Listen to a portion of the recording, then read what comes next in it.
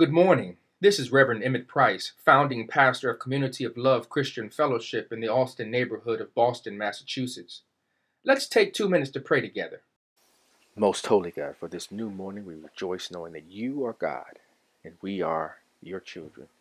You created everything out of nothing and uh, left nothing to be desired. And so we thank you for your marvelous mysteries and your majestic mastery of who you are.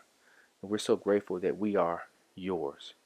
Help us today as we realize that, as we manifest that, as we live that out, knowing that you are God and we are your creation. Help us to stay in appropriate alignment and posture in our lives and not to overstep and attempt to be the divine creator.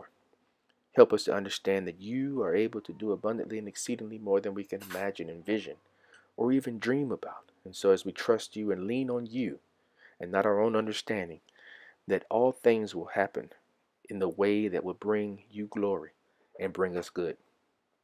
God, we pray for the divided nature of our nation, that you would intervene and intercede and allow your moral character and your values and your virtues to come forward facing.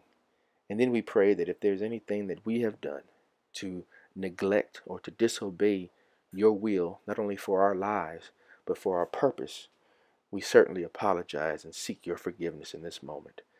This is our prayer. We pray it in the mighty name of Jesus with a spirit of gratitude. Amen.